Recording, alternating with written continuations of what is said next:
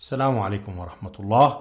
آه لا نزال نتحدث عن ال crystallization ونتكلم الآن عن the importance uh, of uh, the crystal size. آه حقيقة عملية ال crystallization دائما تعطينا مركبات ذات نقاء عالي جدا جدا آه ده مفهوم لأنها تنشأ من super saturated solution فبالتالي the solute concentration is usually very very high in these uh, uh, in these uh, uh, liquids in these solutions فبالتالي ناتج عملية البلورة دائما يعطينا products of very very high purity. Uh, crystal size uh, of a product are important for further processing.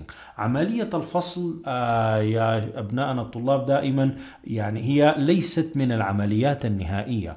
ولا بد لا بد أن تتبع عملية الفصل عدد من العمليات الأخرى.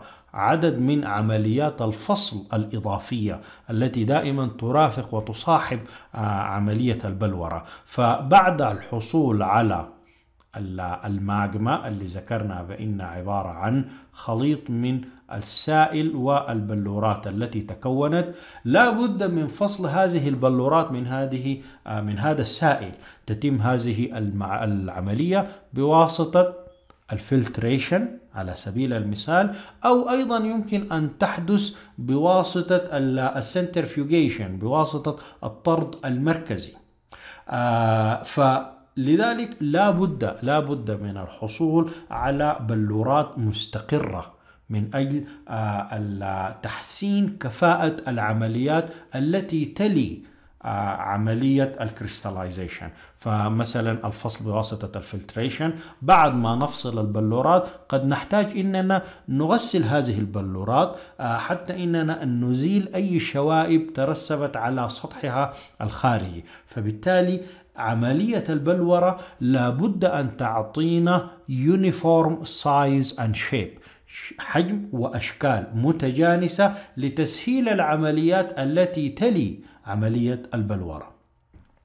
آه كيف نقيم uh, this uniformity of size and shape بواسطة ما يسمى بال CSD وهو ال crystal size distribution وهو عبارة عن uh, uh, process evaluation هو حتى يعطينا قراءة حول كفاءة عملية البلورة.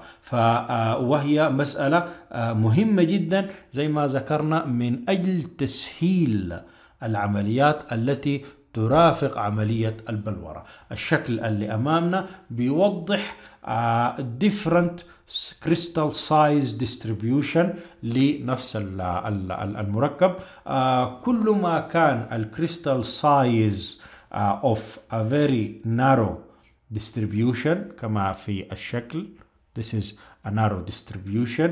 دي كلها these are very good uh, uh, crystal size distribution. لكن إذا تحصلنا على حاجة بالشكل دي فديس uh, من هنا حيكون لدينا uh, a wide range of particles فدي بتصعب العمليات التي تلي والتي تصاحب عملية الكريستاليزيشن